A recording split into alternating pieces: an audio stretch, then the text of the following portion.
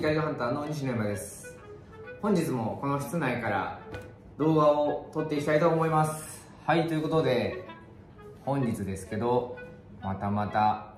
記録に認定された魚がいるということで報告したいと思います。はいということで今回報告させていただくのがこちらです。こちら日本記録の認定証なんですけどここにオキエソオキエソですね。はい。あのヒラメ釣りとか結構泳がせ釣りとかでかかってくるエソのうちの1種類ですね。はい。いろいろこの、まあ、ヒラメ釣りとかではかかってくるエソとしては赤エソ、オキエソ、マエソ、ワニエソなどなどいろんな種類のエソが釣れるんですけど全部総じてああなんだエソかみたいなちょっとがっかりされがちな魚なんですよね。ヒラメとか、まあ、本命に比べるとなかなか、まあ、骨が多いとかいろいろそういうこともあるんでちょっと残念がられるゲストの一つではあるんですけど今回そのうちの1種類オキエソでですね日本記録を取ることができました。はい。まあかねてから、まあ、数年前からヒラメ釣りとかもあのいつもご利用させていただく丸十丸さんでやらせていただきましてそのさっきに挙げた種類のエソの仲間幾度となく釣ってたんですけど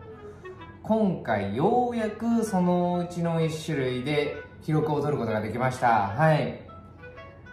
まあ、この日はね本命は釣ることはできなかったんですけどこのオキエソが釣れたことでみんながっかりするところなんですけど僕だけなんかおこれはやばいんじゃない？このサイズは？みたいな。なんか一人でなんかエソで喜ぶという。はい。なんか珍しいお客さんをやっておりましたが今回無事に日本記録が認定されて認定証が届きました。はいこちらですね。日本記録が無事に認定されたということでこのあと世界記録にも今申請しておりまして無事そこで認定されるとまた世界記録の認定証も届くということになりますのでその際はまたこちらの動画の方でご報告していきたいと思います。はい。こちらのオキエソなんですけど大きさがですね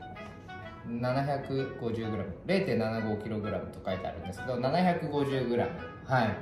長さがだいたい40センチ前後でしたね。結構泳がせ釣りとかであの仕掛けが、まあ、トリプルフックを複数つけていたりとかあの、まあ、スレを誘発させる仕掛けとかですと中にはあのルール上失格となってしまったりとかあの仕掛けの長さとかということでいろいろ、まあ、ルールがあるんですけどいつも僕はあのいつ世界記録日本記録になる魚が釣れてもいいようにそのルールにのっとった仕掛けを使っておりましてタックルもなんですけど、はい、今回この出会いとともに日本記録に認定されたということであります、はい、結構沖エソはですねそういう船の釣りとか堤防でも島とかですね伊豆大島で沖エソは釣ってるんですけどそれもま 2300g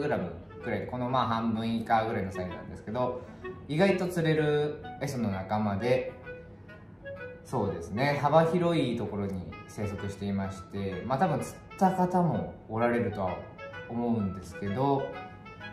まあその中でも4 0センチっていうのはなかなか大きいサイズでありまして僕もこの日34匹釣りまして、まあ、これがトップ。筆頭に、まあ、3 2 3センチぐらいとか2 0センチ半ばぐらいのものまで釣りましたね。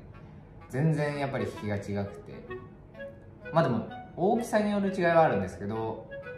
あんまりこう暴れるような感じはせずなんか途中ひたすら重くなるみたいな。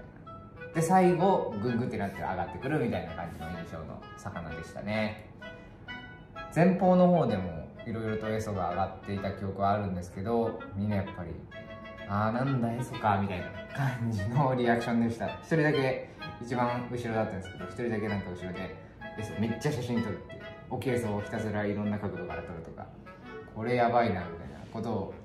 ね、一人ブツブツ言いながらなんだこの客は？とかって思われてたかもしれないんですけどはい。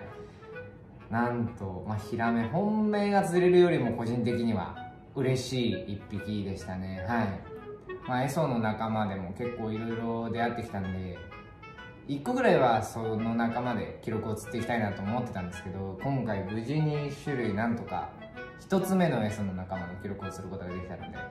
今後他の種類で記録申請対象になりそうな重さのエソも釣っていきたいと思いますので今後も頑張っていきたいと思います。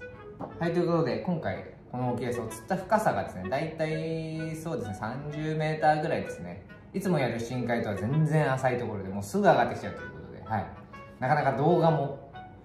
撮ることができずもうひたすらヒヤヒヤしながら上げてきていけないんですけどそれが無事記録に認定されたということで本日日本記録認定報告動画沖エソ編ということでお送りしてまいりました。はい。ということでどんな魚でも記録になっちゃうのかなと思った方グッドボタンとチャンネル登録よろしくお願いします。